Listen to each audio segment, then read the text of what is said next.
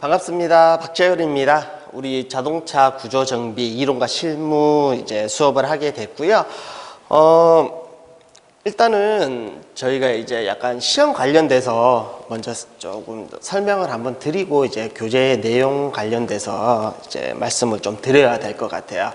음, 저희가 이제 2020년도에 이제 차량 손해사정사 시험을 치렀는데 저희 일단은 저희 이제 뭐 다 아실 거라고 생각을 합니다. 이제 1차 과목이 있을 거고요. 2차, 가, 1차 과목 같은 경우에는 객관식으로 이제 보통 이렇게 치러질 거고. 그 다음에 우리 2차 과목. 크게 이제 두 가지로 이제 나누잖아요. 이제 대물 이론. 좀 생략을 하게, 좀 이렇게 단어를 줄여서 말씀을 드리겠습니다. 그 다음에 이제 우리 이제 구조정비. 자, 요렇게 이제 크게 이제 나누는데, 지금 2차 같은 경우에는 음, 뭐 이제 한번 경험이 있으신 분들도 계실 거고 이제 교재 보시게 되면 이제 뒤쪽에 기출 문제를 한번 보시게 되면 대부분 다 이제 서술 문제예요. 서술.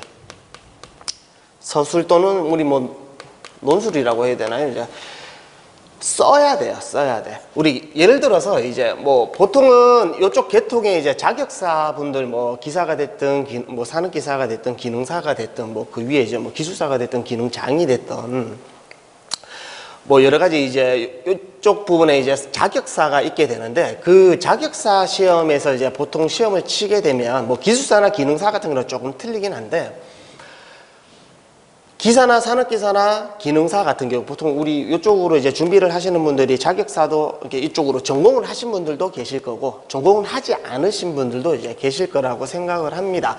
근데 이제 뭐 전공을 하시든 안 하시든 실제적으로 시험을 접하게 되거나 이제 저희가 이제 이쪽 부분에 좀 접하게 되면 기존에 객관식으로 여태껏 이제 학습을 해왔던 부분하고는 이제 쉽게 말하면 천지 차이라는 거예요. 굉장히 이제 차이가 많이 느끼시게 될 겁니다.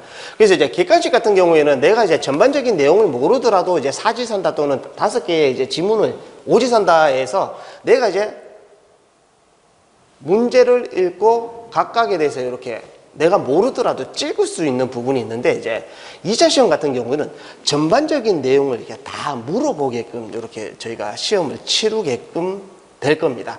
자, 그렇게 될 때요. 일단은 뭐 이제 대물 이론 같은 경우는 우리 뭐 김강중 강사님 너무 잘하시는 거다 아실 겁니다. 이제 1차 과목도 하시고 하니까 대물 이론 같은 경우에는 어느 정도 이제 쉽게 말하는 이제 boundary라 그러죠. 이제 과목에 대한 boundary를 크게 이제 벗어나지를 않아요.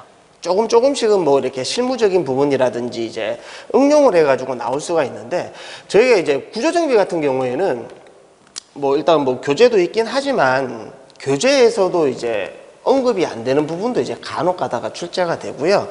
최근에 지금 뭐 한 2년 정도에서는 거의 이제 예상이 이제 많이 빗나갈 정도로 쉽게 말해서 아우 너 이거 한번 틀려봐라 하는 정도로 이제 문제가 이제 저기 멀리서 이렇게 가지고 끄집어내서 시중에 교재 뭐 시중에 이제 뭐 자격사 시험이라든지 이쪽 관련 계통에서도 눈에 한 번도 이제 보지 못했던 그런 문제들이 이렇게 간혹 가다가 지금 나오게 되더라고요. 그래서 이제 기본적인 바운더리에서 대부분은 이쪽에서 이제 나온다고 보셔야 되는데 한두 문제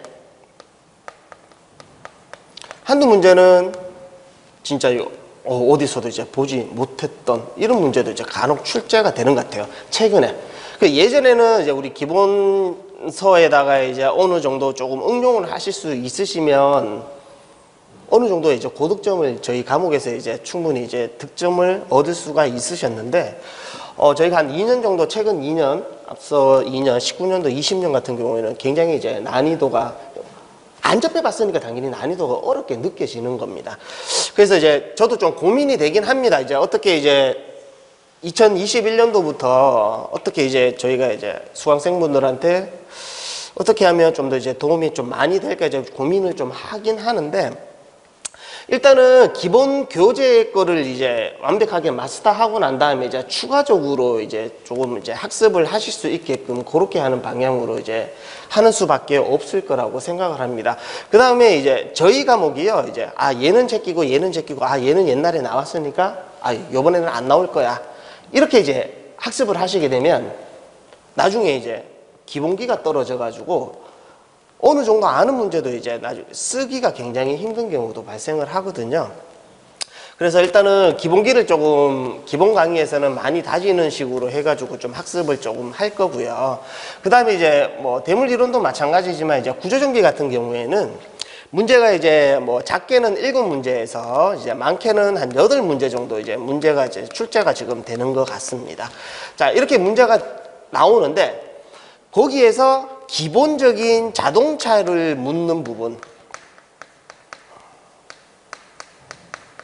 그게 이제 거의 현재까지 이제 비중을 봤을 때요. 현재까지 이제 저희가 기출 문제를 분석해 가지고 비중을 봤을 때 한 다섯에서 한 여섯 문제 정도, 뭐 작게는 이제 한 네 문제 정도까지 이렇게 이제 나오는 경우가 이제 거의 기본적인 자동차의 구조에 관련된 부분을 이제 묻는 문제가 주로 이렇게 형성이 되고요. 나머지 어, 대물 이론 교재도 보시게 되면 뒤쪽에 보면 이제 우리 김강중 화상님 책에 보시면 이제 도장 관련된 부분도 있을 거예요.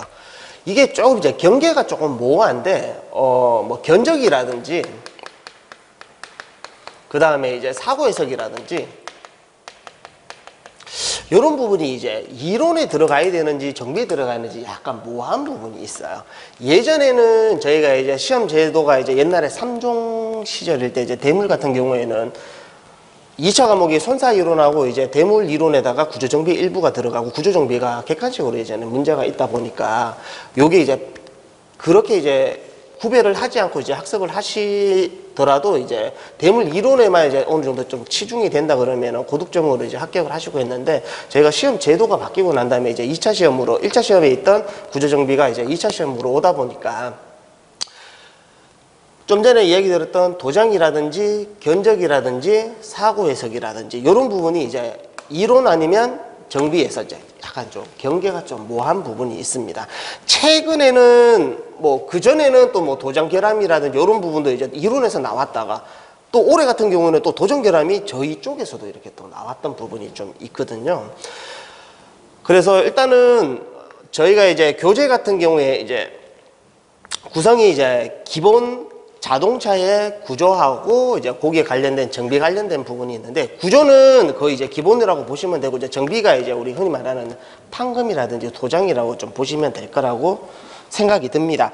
자 그러면은요 교재 이제 가지고 계시면 음, 교재가 저희가 이제 페이지가 책이 좀 얇은데 내용은 좀 많이 들어가 있어요. 273페이지까지 저희가 이제 교재가 지금 되어 있는데요. 어, 중간에 쭉 넘기시면 저희가 이제 자동차 구조까지가 한 214페이지까지가 이제 자동차 구조로 해가지고 이제 제가 이렇게 이제 내용을 일부분 정리를 해가지고 넣어 놨거든요. 그거를 이제 우리 기본 강의할 때 요 교재 내용을 먼저 이렇게 진행을 할 거고요. 그 이후에 이제 뒤쪽에 있는 부분은 우리 핵심 정리. 아, 자 그러면 어, 여기서 이제 하나만 더 좀 말씀을 드릴게요. 일단은 저희가 이제 2차 과목은 어, 수업을 진행을 이렇게 할 겁니다. 이제 기본 강의가 있고요. 그 다음에 기본 강의를 바탕으로 이제 약간 문제화를 해가지고 그 문제화를 풀어서 내가 다시 한번 학습을 할 수 있는 핵심 정리 또는 이제 문제풀이 과정이 이렇게 있을 겁니다. 뭐 학원에서 중간에 이제 커리큘럼이 바뀌지 않는 이상은 요렇게 이제 진행이 될 거라고 보고요. 이제 마지막에는 내가 어느 정도 학습이 되어 있는지, 어느 만큼 내가 서술이 가능한지, 내가 이제 서술을 했을 때 어느 정도 점수가 예상이 되는지를 이제 점검할 수 있는 모의고사 이렇게 형식으로 이렇게 세 과정으로 이제 보통은 진행이 될 겁니다. 뭐 지금 또 코로나 시대 때문에 어쩔 수 없이 이제 집중적으로 이제 집합 교육을 하지 않고 이렇게 동영상을 찍어가지고 여러분들 만나 뵙게 되는데 기본 강의할 때 이제 대부분 이렇게 교재에 있는 앞쪽에 있는 내용을 저희가 상세하게 굉장히 이제 굉장히 상세하게 설명을 드릴 거고요. 그 다음에 뒤쪽에 있는 부분 있는 부분 있죠. 이제 사과 해석이라든지 이제 우리 판금이라든지 이쪽 관련된 부분은 어 기존에 이제 관연도 문제라 그러죠. 관연도 문제 와 더불어 앞으로 우리가 이제 예상이 되는 문제를 문제화를 시켜가지고 직접적으로 아 요렇게 이제 서술을 하면 되겠구나 하고 이렇게 별도로 또 학습을 좀 하실 겁니다. 그리고 이제 모의고사 때는 뭐 직접적으로 이제 학원에 오셔가지고 본인들이 써 보시게끔 그렇게 진행을 할 건데 요때 이제 핵심 정리하고 문제 풀일 때 이제 교재에 있는 뒤쪽 내용을 문제화를 시켜서 이제 수업을 진행을 하도록 하겠습니다. 자, 일단은 이렇게 살짝 좀 설명을 좀 드렸고요. 어, 그 다음에 음, 제가 이제 학습을 하기 전에 저희가 이제 저희 과목이 전공자들 이제 보통 이제 뭐 대물 쪽으로는 이제 이쪽 관련된 이제 자동차 공학이라든지 자동차학과 출신들도 이제 뭐 보문사라든지 아니면 이쪽으로 일을 하시는 분들이 많이 진입을 하시는데 어 혹시라도 이제 처음 요 과목을 접하시는 분이라 하더라도요 현재까지 제가 볼 때는 이제 전공자보다는 비전공자들이 합격을 더 저희 학원 통해서 이제 합격을 좀 많이 하신 걸로 알고 있거든요. 막 지레 이제 겁먹지 마시고 이제 과정 충분히 따라오시고 열심히 이제 하신다 그러시면 좋은 결과 있으실 거라고 생각을 하고요. 그래서 저희 인스 TV에 저희 과목 이렇게 들으러 학습을 하시러 이제 클릭을 하시게 된 거를 저 역시 여러분들도 같이 하는 거를 이제 영광으로 생각을 합니다. 자, 그러면 교재를 한번 볼게요. 교재를 이제 딱 넘기시면 페이지가 이제 딱 보시면 이제 학습 방법이 이렇게 나오는 게 있어요. 학습 방법. 저희가 이제 내용이 좀 강범위하다 보니까 객관식으로 아까 뭐 앞전에 이제 말씀드렸던 것처럼 이제 살짝 살짝 그냥 어 문제가 나오고 그냥 단답형으로 딱 찍고 이제 할 수 있는 문제가 아니다 보니까 어떻게 하면 좀 더 효율적으로 이제 학습을 할 수가 있을까 이제 하는 부분에 대해서 제가 좀 말씀을 좀 드릴 거고요. 그 다음에 이제 제가 여기 앞쪽에서 이제 보시게 되면 PPT를 제가 이제 띄우고 이제 이렇게 학습을 하는데 어, 제가 그림 설명을 하기 위해서 요 사진을 설명하기 위해서 요쪽 하고 그 다음에 요쪽 부분에서 다시 제가 이제 또 칠판에다가 판서하고 좀 그림을 조금 많이 그리게 될 겁니다. 그림을 많이 그리게 될 거니까 좀 시야가 이제 카메라가 이제 요쪽으로 갔다가 요쪽으로 갔다가 조금 이제 시야가 보시기에 좀 어려 이게 뭐야 이게 하시더라도 이렇게 조금 양해를 좀 부탁을 좀 드리겠습니다. 그리고 지금 요 PPT 자료는 제가 따로 이제 학습을 하시게끔 뭐 보조 교재라고 해야 되나요? 보조 이제 자료로 쓰시게끔 어, 학원이 얘기를 해가지고 이게 파일을 드리도록 하겠습니다. 그러면 이제 뭐 이렇게 다운 받으셔가지고 프린트 같은 거 하시든지 아니면 파일을 갖고 계시면서 학습을 하실 때 아 얘가 이런 부품이구나 저런 부품이구나 이렇게 조금 아시게끔 참조가 되시게끔 이렇게 진행을 해 드리도록 하겠습니다. 자, 그러면 학습 방법이라고 이렇게 내용이 나오는 부분이 있어요. 빨간 글씨로 여섯 개를 제가 한번 추려 봤는데요. 자, 한번 보시면 이렇게 돼 있어요. 1번에 이제 기출 문제를 통해 시험에서 출제되는 문제의 유형을 파악한다. 이제 가장 중요한 부분 이제 저희가 이제 뭐 처음 접하시는 분들도 계실 거고 아니면 내가 이제 다시 한번 도전을 하시는 분들도 계시는데 자, 교재의 뒤쪽으로 쭉 한번 넘겨 보시겠어요? 뒤쪽으로 넘겨 보시면 관연도 문제를 저희가 실어 놨습니다. 어, 1회 때부터 20년도에 우리 42회인가요? 그때까지 문제를 실어 놨어요. 43회까지 이렇게 실어 놨거든요. 그러면 이제 작년 문제로 해가지고 한번 볼게요. 298페이지 한번 보시겠어요? 자, 290, 298페이지. 자, 보시면 어, 뭐 경험이 있으신 분들도 계시겠지만 이제 보통 2차 시험을 보시게 되면 2차 서술을 할 수 있는 시험 답안지를 이제 한 8절지 크기만한 우리 A4 용지를 두 개를 겹쳐놓은 크기의 이제 답안지를 하나 가지고요. 그 다음에 이제 A4 용지 크기의 문제지를 이렇게 주어지게 되거든요. 그때 이제 여기 이제 문제들이 쭉 이렇게 이제 써 있고 요런 문제를 우리가 이렇게 이제 답안지에 이제 서술을 하게끔 이렇게 이제 보통 진행을 하게 되는데 그때 어떻게 이제 우리가 이제 답안지를 작성을 하냐면은요. 하냐면 나중에 이제 모의고사 때 되면 자세하게 좀 말씀을 드리겠지만 목차라는 걸 잡아서 저희가 써야 됩니다. 목차라는 걸 잡아서요. 그래서 이제 이 목차를 이제 보통 잡아가지고 써야 되는데 그 목차는 저희 과목 같은 경우에는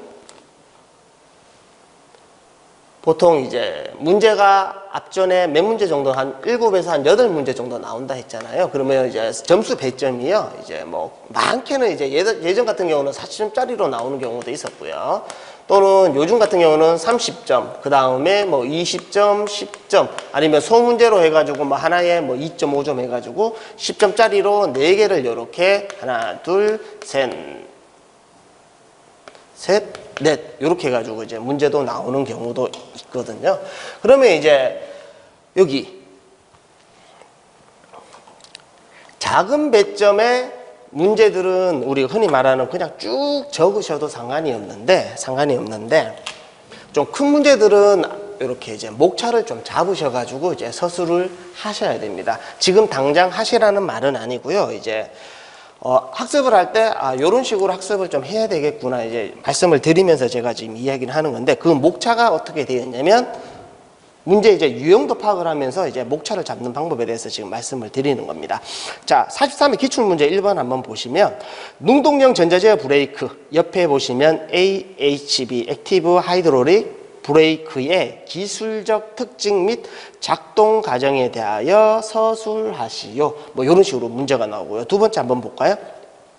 하이브리드 자동차에 적용되는 HSG 괄호 해가지고 hybrid starter and generator의 주요 기능과 역할에 대하여 서술하시. 일단은 우리 두 문제만 보더라도 저희 문제는 서술입니다. 세 번째 문제 한번 볼까요? 적응형 순항 제어 시스템 ASCC advanced smart cruise control의 기술 개요 및 시스템의 작동 과정에 대하여 서술하시오. 네 번째 한번 볼까요? 차체 부식의 녹의 종류별 발생 원인을 제시하고 차체 수리 과정에서 녹 발생을 억제할 수 있는 방법에 대하여 서술하시오. 5번에 자동차 현가 장치에서 독립식과 일체 차축을 구별하여 구조 및 특징에 대하여 약술하시오. 6번 한번 또 읽어보겠습니다. 도장 작업 후 발생하는 결함 중 박리 현상, 부푸름 현상, 치핑 현상, 초킹 현상 정의와 발생 원인에 대하여 약술하시오. 7번에 타이어 마모는 트레드 표면이 마모되는 현상으로 과도한 타이어 마모는 제동시 미끄럼 발생으로 결국 사고를 유발시키는 원인이 된다. 타이어 마모의 원인을 열거하고 트레드 편마모 경향의 종류 및 세부 요인들에 대해 약술하시오. 이렇게 돼 있어요. 자, 문제들이 대부분 이렇게 되어 있어요. 어떠한 자동차의 시스템이나요. 또는 이제 부품에 대해 가지고 얘가 뭘 하는 놈인지 보통 이제 역할이라고 하겠죠. 또는 얘가 좀 문제가 되면 어떤 문제가 발생을 하는지 그 다음에 이러한 시스템 자체가 자동차에서 어떠한 원리에 대해서 접목이 돼가지고 자동차를 어떤 움직임을 가져다 주는지 또는 운전자한테 어떠한 편리를 가져다 주는지 그런 부분을 이제 대부분 묻는 거예요. 그래서 보통은 이제 목차를 잡을 때도 뭐 이런 식으로 목차를 잡아요. 자, 1번 같은 경우에는 AHB 이렇게 되어 있죠. 자, 이렇게. 그러면 보통은 이제 점수가 어느 정도 20점, 3점, 100점이라 그러면 뭐 목차를 이렇게 잡습니다. AHB에 뭐 의미를 얘기하는 거, 뭐 개요라든지 또는 의미라든지 또는 정의라든지 그 다음에 이 HB는 시스템으로 되어 있어요. 여기서 시스템이란 말은 여러 가지 부품들을 여러 가지를 모아서 어떠한 유기적인 작동을 할 수 있는 걸 우리가 이야기할 때 시스템이라는 얘기를 하거든요. 그래서 이러한 AHB 시스템에 뭐 각각의 이제 부품이 모여가지고 시스템을 구성을 한다 했잖아요. 뭐 구성, 그러면 여기에는 뭐, 뭐 페달도 있을 거고, 뭐 행정 센서도 있을 거고, 뭐 유압 장치도 있을 거고, 뭐 쭉쭉쭉쭉쭉 뭐 이런 식으로 좀 아주 뭔지는 잘 모르겠다만. 그 다음에 이제 그러면 이렇게 이제 구성에 대해서 페달은 이게 이제 브레이크 페달이거든요. 이제 제동 장치에서 쓰는 우리 이제 브레이크 장치에서 쓰는 이제 하나의 시스템인데 페달은 어디 있어요? 우리 대시보드 운전석 우리 발 밑에 이렇게 페달이 있잖아요. 어디에 위치가 되어 있으며 어- 운전자가 의지에 의해서 페달을 밟게 되는 뭐 이러한 부품이다. 그러면 행정 센서, 행정 센서라 하면은 이제 페달의 움직임을 측정하는 센서의 일종입니다. 그러면 운전자의 페달을 밟게 되면 그 페달이 어느 만큼 움직여 줬는지 이를 측정하는 센서이다. 이런 식으로 쭉 이렇게 서술을 하시게끔 저희가 이제 나중에 답안지를 작성을 이렇게 하셔야 되거든요. 이렇게 하셔야 되다 보니까 하셔야 되다 보니까 저희가 이제 학습을 할 때 요 기준으로 이제 보통 이제 교재도 이렇게 순서가 이렇게 어느 정도 나와 있어요. 대부분은 순서가 요렇게 이제 적으시면 무난하실 거라고 생각이 듭니다. 자, 자동 어 자동차에서요. 여러분들이 이제 자동차를 운전을 다 하실 거라고 생각을 하고 이제 대표적인 거 이제 브레이크 장치 이제 뭐 AHB는 이제 모르시니까 자 ABS라는 장치가 있습니다. 우리 브레이크 장치 중에 그러면 이제 브레이크 장치 중에 ABS 같은 경우에는 이제 브레이크가 잠기게 되면 뭐 제동거리라든지 이제 운전이 잘 안 되는 여러 가지 이제 문제가 발생을 하게 되는데 ABS에 대해서 설명을 하시오 또는 서술하시오 이렇게 나오면 우리 교재에도 이렇게 나와 있단 말이에요. ABS가 뭐냐? AJS의 구성 부품은 어떻게 되냐? 구성 또는 구성 부품. 부르면 좀 전에 한 것처럼 똑같습니다. 뭐가 있어요? 뭐가 있어요? 뭐가 있어요? 얘가 혹시라도 뭐가 어떻게 작동이 되는지. 뭐 작동 순서라든지 작동 뭐 이제 작동 순서 요렇게. 그 다음에 뭐 얘가 이제 혹시라도 고장이 났을 경우에 뭐 순서를 정해 가지고 이제 뭐 고장 시뭐 문제점. 자 요런 식으로 문제가 나오면 답안지를 이렇게 쓰셔야 됩니다. 자, 쓰셔야 되기 때문에 여러분들도 학습을, 학습을 하실 때 항상 이런 위주로 쓰시면 될 것 같고요. 그 다음에 이제 제가 이제 몇 번 말씀을 드리지만 저희가 서술형 시험이라고 말씀을 드렸기 때문에, 드렸기 때문에 막상 여러분들이 내가 얘를 알고 있어도 쓰려고 하면 굉장히 어려움을 겪도록 저 역시도 예전에 이제 그렇게 어려움을 겪었고요. 그러면 그러면 여러분들이 이제 학습을 하시거나 할 때 이제 달달달 외우실 수도 머리 좋으신 분은 달달달 외우실 수도 있겠지만 좀 더 효율적으로 이렇게 학습을 하시기 위해서는 각각의 부품에 들어가는 핵심 키워드라는 게 있습니다. ABS 뭐 브레이크 같은 경우는 어떠한 뭐 말이 들어가야 된다거나 그 다음에 또 서술형이다 보니까 서술형이다 보니까 어느 정도는 분량을 조금 채우셔야 돼요 분량을. 분량을 채우다 보니까 이렇게 하는 거 아까 이제 페달 얘기했습니다 이제. 자. ABS 브레이크 중에 이제 하나의 부품 중에 하나가 ABS wheel speed sensor라는 게 있습니다. 자, 얘는 이제 바퀴가 잠기는지 안 잠기는지 쉽게 말하는 ABS가 anti-lock brake system이거든요. lock이 되는지 안 되는지를 알 수 있게끔 해주는 이제 센서가 있는데 그러면 wheel speed sensor 구성 부품이 얘는 바- 좀 전에 얘기했어요. 바퀴가 잠기는지 안 잠기는지를 알 수 있는 센서라고 얘기했습니다. 그러면 얘를 적어주면 되는데 어떻게 적냐면은 이렇게 적는 거예요. wheel speed sensor는 바퀴에 보통 바퀴를 잡아주는 부분은 우리가 knuckle이라는 말을 써요. Knuckle. Knuckle에 보통 장착이 되어 있고요. 그 다음에 이제 바퀴가 돌아가는지 안 돌아가는지를 알 수 있는 부분이 이제 센서와 톤힐이라는 또 친구가 있어요. 짝꿍이. 같이 맨날 같이 다녀요. 짝꿍이. 그러한 톤이라고 이제 같이 위치가 되어 있으면 뭐 바퀴가 이렇게 이렇게 락이 되는지를 알 수 있게끔 해주는 센서로서 그 측정 값을 센싱을 해가지고 ECU라는 어떠한 장치로 보내주는 센서입니다. 해가지고 이제 말을 쉽게 말하면 조금 늘려가지고 이렇게 쓰실 수 있게끔 이렇게 하셔야 된다는 거예요.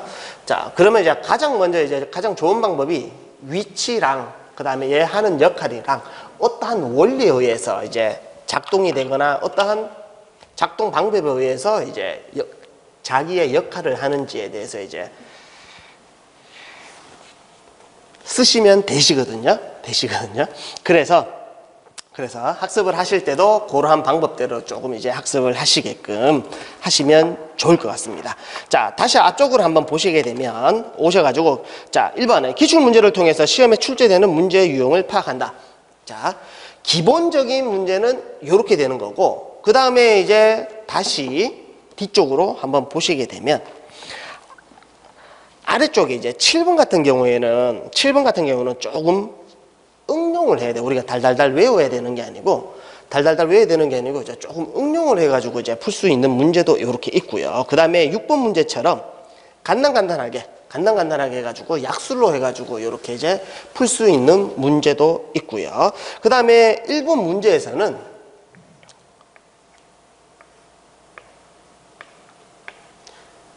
뭐 예를 들면 ABS 시스템은 갈로 갈로 갈로로 구성이 된다.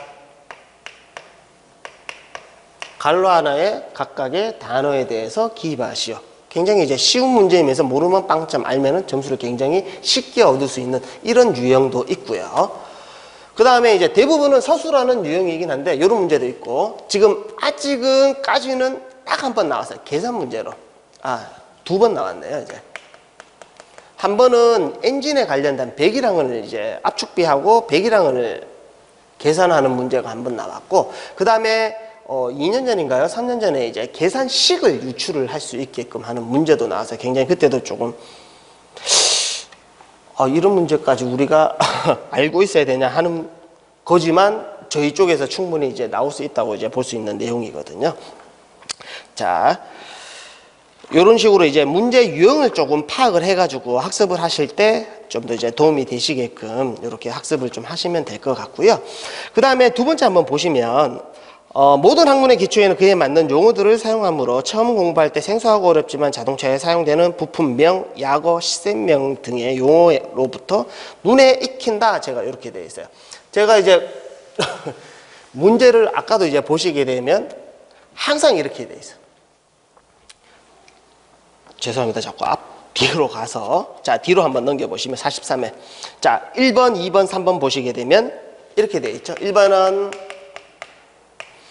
2번은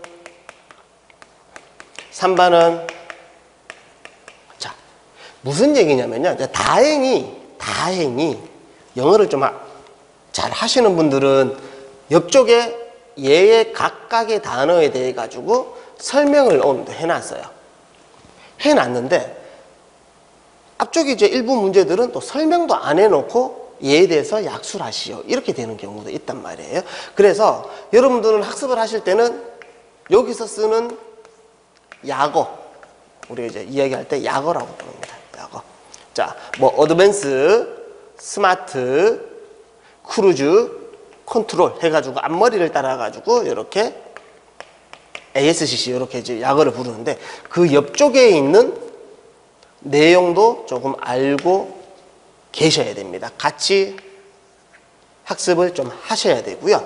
그 다음에 어, 첫 번째 얘기를 할 때 우리 1번이 가장 먼저 얘기했던 게 뭐였어요? 개념이라든지 용어라든지 정의라든지 뭐 의미 뭐 이런 걸 적는 거라고 얘기를 했잖아요. 내가 공부는 안 했지만 이런 문제가 나왔어요. 모르겠어. 근데 이 단어를 풀이해서 봤더니 아 이거 cruise control cruise control은 어디서 많이 봤는데 advance 뭔가 앞선 스마트 똑똑한 cruise control 내가 이제 이러한 문제를 학습을 하지 않았더라도 최소한 이런 부분만 이제 어느 정도 단어를 뜻만 알고 있어도 이제 쉽게 말해서 글짓기 또는 해가지고 우리가 이제 일부라도 단 얼마의 점수라도 이제 받으실 수 있게끔 되는 게 이제 가능하시거든요. 그래서 약어 그다음 많이 보셔야 됩니다. 약어, 약어. 그 다음에요. 그 다음에 그 다음에 부품명 이 아까 이렇게 얘기했죠. 시스템이 있으면 그 시스템 하부에는 각각의 이제 구성을 하고 있는 부품들이 있단 말이에요. 자, 이렇게 부품이 있고요. 근데 이 부품은요, 어떠한 원리에 의해서 작동을 해요. 원리에 의해서 작동을 해요. 그러면 얘를 다시 쓰게 되면 얘가 뭐냐면 이 구성 부품의 역할이 돼요. 저희가 이제 나중에도 이제 저희 모의고사 때 되면은 어, 뭐, 머리에 계속 맴도는데 쓰기가 굉장히 힘들어요 하시는 분들이 많으시거든요. 그런 분들한테 제가 이제 맨날 이야기하는 부분이 우리가 이제 주 대개 물어보는 게다 얘를 물어보는 게 이제 주가 되거든요. 그래서 시스템이 뭐다, 구성 부품이 뭐다, 어떤 원리에 의해서 어떻게 작동이 된다, 어디에 위치해 있다. 아까 얘기한 것처럼 그런 식으로 같이 이 단어를 눈에 익게끔 많이 좀 다 놓으셔야 될 것 같고요. 그 다음에 이제 3번이 좀 전에 이야기한 거대로 그 용어들이 자동차에서 어떤 역할을 하고 어떤 원리에 의해서 작동하는지에 대해서 뭐 이해를 좀 해 놓으시면 나중에 이제 서술하실 때 조금 도움이 되실 거라고 생각이 됩니다. 그 다음에요. 각각의 부품들을 모아 큰 틀로 정리하는 방법을 활용한다. 이렇게 되어 있는데요.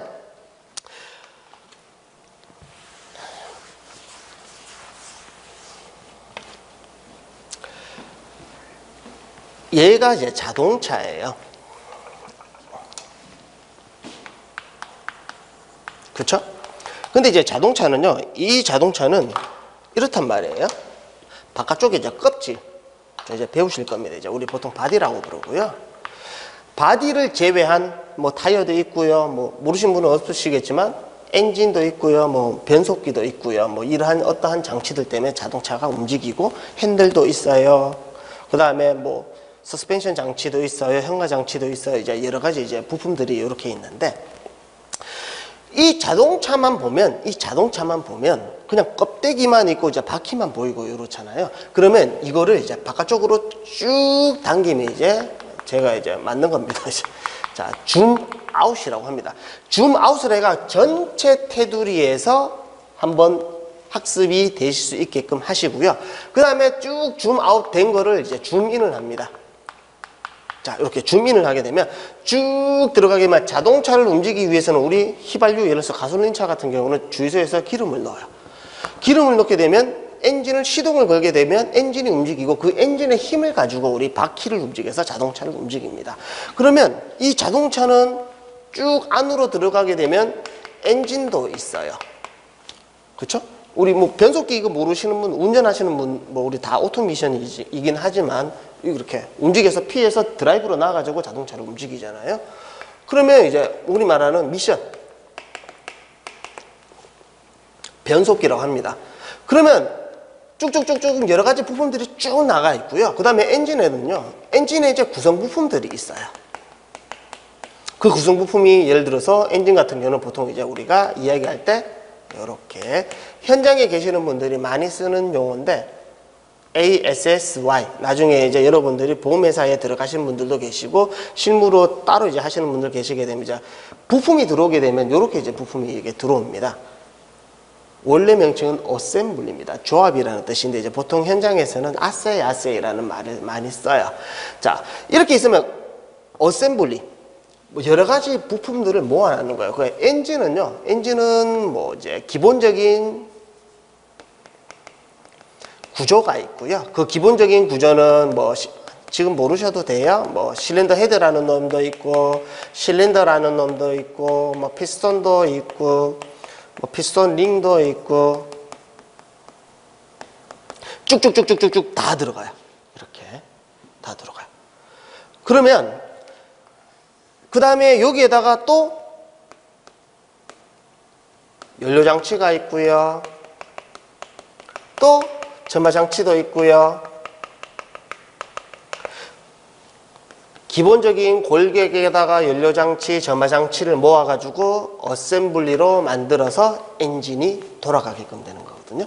그러면 바깥쪽에서는 아 엔진이구나 하면은 zoom in으로 쭉 들어가게 되면 각각 헤드, 실린더, 피스톤, 피스톤 링 각각에 대해서 쭉 학습을 다 하시게 됩니다. 연료장치도 어떤 게 있고 인젝터가 있어요. 점화장치는 점화 플러그가 있고 뭐 distributor라는 뭐 여러 이러한 장치들이 쭉쭉쭉 있어요. 그러면 또 그 부품에 대해서 또 안으로 또 들어갑니다. 그러면 그 부품들은 또 재질이 어때요? 그러면 얘는 어떤 식으로 만들어요? 이렇게까지 되는 거예요. 그러면 그 헤드에서 쭉 나오면 기본 구조가 되는 거고, 그렇죠? 기본 구조에서 쭉 얘들을 또 합치게 되면 엔진이. 그래서 줌 인으로 쭉 들어가 가지고 얘들이 각각의 부품들이 어떻게 만들어지고 어떤 작동을 하고 어떤 원리에서 자기네 역할에 의해 가지고 엔진을 움직이게 하는 거라를 이제 줌 아웃으로 쭉 나가 가지고 학습을 하실 수 있게끔 이렇게 하셔야 된다는 거야. 그다음에요. 어 이렇게 해 가지고 쭉 나와 있는데 어 또 여기 뭐 엔진하고 미션하고 통해 가지고 어떠한 시스템을 만드는 거예요. 이 두 개를 같이 작동시켜 가지고. 그러면 그러한 시스템에 대해 가지고 또 이제 문제를 만들 수도 있고 이렇게 될 수가 있거든요. 그래서 학습을 하실 때 단편으로 예, 예, 예, 예 이렇게 하면 머리에 잘안 들어와요. 큰 테두리에서 아 여기에서는 예, 예, 예가 있고 안으로 쭉 들어가면 어 추가적으로 예가 있구나. 그러면 이 부품이 이렇게도 들어가고 이 부품이 이렇게도 들어가는구나. 이렇게 되고요. 그 다음에 우리 자동차는요 이제 여러 가지 부품들이 있는데 그 부품들이 부품들이 예를 들어서 뭐 엔진에서 쓰는 어떠한 센서가 하나 있다고 가정을 할게요. 뭐 보통 뭐 TPS 이제 스로틀 포지션 센서라는 놈이 있는데 이러한 센서가요 엔진에만 쓰는 게 아니고 미션에도 쓰고 나머지 샤시 시스템에서도 공통으로 다 써요. 그러면 어디에서 하나에서 제대로 된 개념을 잡아놓게 되면 다른 쪽에서도 이렇게 쓰실 수가 있고요. 그 다음에 이 부품들이요, 부품들이 명칭이 이렇게 예를 들어서 뭐 이런 게 있어요. 뭐 책밸브라는 놈이 하나가 있어요. 벌써부터 뭐 말이 많어. 이렇게 할 수도 있는데. 자 책밸브라는 놈인데 이 책밸브는 하나의 이제 기계적인 장치에서 쓰는 체크밸브 또는 책밸브라고 하는데 기계적인 뭐 기, 다른 기계에서 쓰이고 뭐 자동차에서도 쓰이고 비행기에서 쓰이고 배에도 쓰이고 하는데 이 책밸브는 자동차로 치게 되면 브레이크 장치에서도 쓰이고요. 엔진에서도 써요. 엔진 연료 장치에서도 그렇다 보면 얘를 하나 정리를 해 놓으면 나중에 이제 여기서도 써먹을 수 있고 여기서도 써먹을 수 있고 이렇게 해가지고 이제 써먹을 수가 있으니까 이런 부품들을 각각으로 전체 틀, 그 다음에 줌인으로 해가지고 각각각 이렇게 이제 학습을 하실 수 있게끔 이런 방법들을 조금 활용을 좀 하시면 좋을 것 같고요. 그 다음에 이제 우리 문제의 유형 중에 가장 어 많은 것 중에 하나가 이제 최근에는 이렇게 해요. 신기술이라고 하죠. 이제 최신 기술. 최신 기술이 나오게 되는데 그 최신 기술이 설명을 우리가 이제 서술을 하잖아요. 그러면 얘가 이제 나온 바탕이 바탕이 왜 나왔냐를 이제 우리가 이야기가 되거든요. 그러면 이제 기존에 자 ABS 이제 뭐 이야기했는데요. ABS 같은 경우에는 기존에 이제 브레이크 장치가 있어요. 브레이크 장치를 썼더니 브레이크 장치를 썼더니 발 밟아가지고 제동이 잘 되긴 잘 되는데 얘가 잠겨버리다 보니까 핸들이 안 꺾어요. 그냥 이제 관성위에서 쭉 미끄러 앞쪽으로 가버리고 그 다음에 정지거리 또는 제동거리가 굉장히 길어져 버리는 그런 단점이 있어요. 그러면 이 신기술 ABS를 설명하기 위해서는 기존의 브레이크 장치를 설명을 하고 난 다음에 신기술을 설명을 하는 거예요.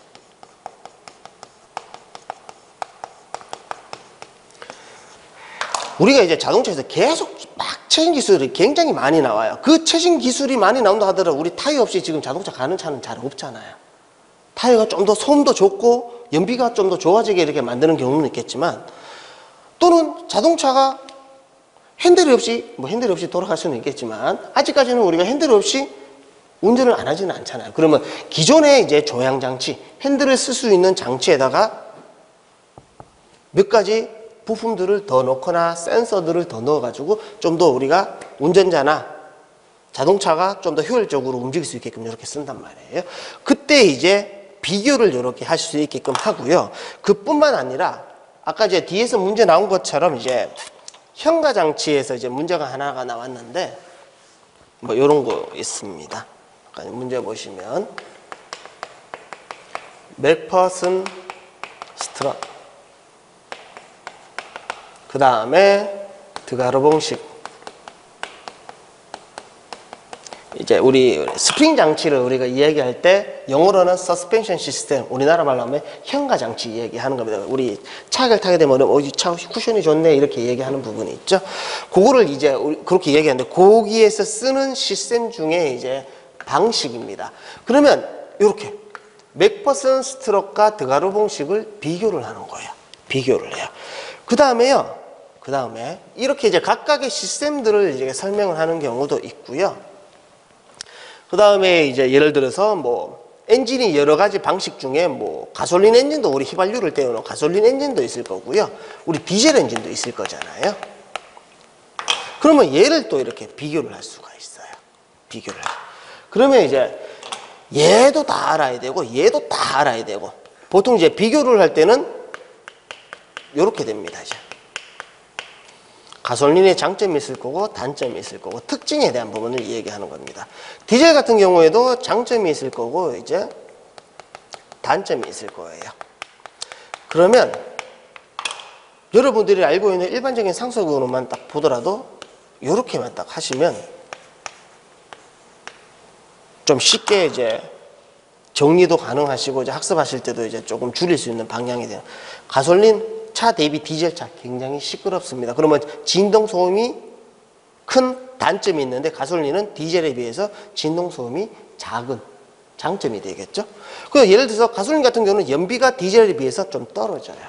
근데 디젤 엔진 같은 경우는 가솔린보다 뭐예요?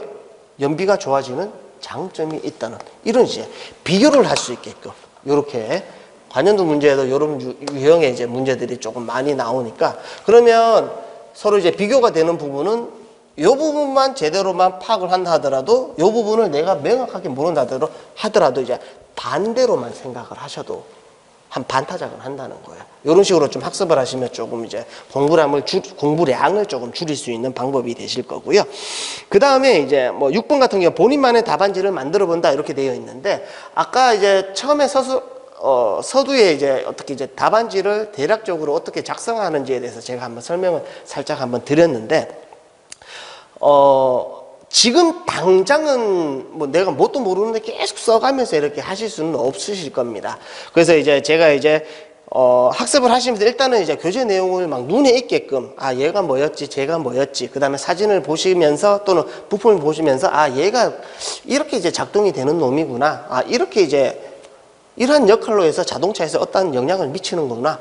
이런 부분을 계속 이제 머리에 상상을 하시게끔 이렇게 하고요. 그 다음에 이제 어느 정도 저희가 이제 보통 시험이 이제 2020년 어, 같은 경우는 코로나 때문에 좀 밀리긴 했는데 내년에는 또 어떻게 될지 잘 모르겠어요. 보통은 이제 1차를 4월 달에 보고 2차를 보통 8월 달에 많이 봤는데 올해는 좀 늦었죠. 2020년도에는.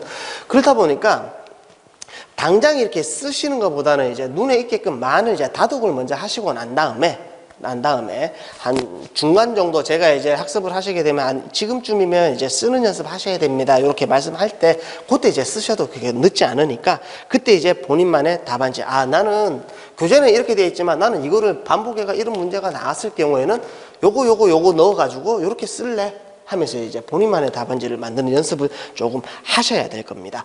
자, 이렇게 해가지고 저희가 이제 학습 방법에 대해서 조금 뭐 제가 이제 막 장황하게 조금 이야기를 하긴 했는데 하긴 했는데 일단은 공부를 제가 이제 여러분들을 이제 합격을 하시기 위해서 이제 좀 앞쪽에서 좀 끌어주는 입장이긴 하지만 결론적으로는 여러분들이 직접 이게 공부를 하셔야 되잖아요.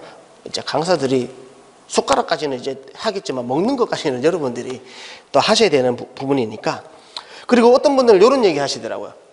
엉덩이, 어, 저 엉덩이 살이 많이 빠졌는데 엉덩이가 무거운 놈이 장땡이라는 거야. 어떻게 하든 책상에 한번 앉았을 때 많이 보고 많이 반복하고 돌아서면 까먹는단 말이에요. 저 역시도 그렇기 때문에 그런 부분, 그런 부분.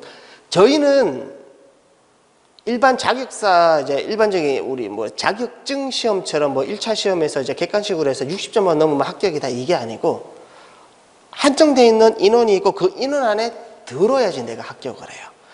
내가 시험이 어려우면 남들도 다 어렵습니다. 남들도 다 쉬우면, 아, 내가 쉬우면 남들 다 쉬워요. 그렇기 때문에 내가 합격을 하기 위해서는 남들보다 좀 더 답안지를 더 잘 쓸 수 있는 능력을 키우셔야 되시거든요. 그래서 이제 그 중에 하나가 이제 저는 꾸준함이라고 생각을 합니다. 꾸준함. 그래서 이런 부분 좀 새겨가지고요. 어, 학습에 좀 임해 주셨으면 좋겠습니다. 좀, 어, 그리고 조금 휴식했다가 저 이제 교재의 내용을 이제 본격적으로 학습을 한번 해보도록 하겠습니다. 다음 시간에 뵙도록 하겠습니다.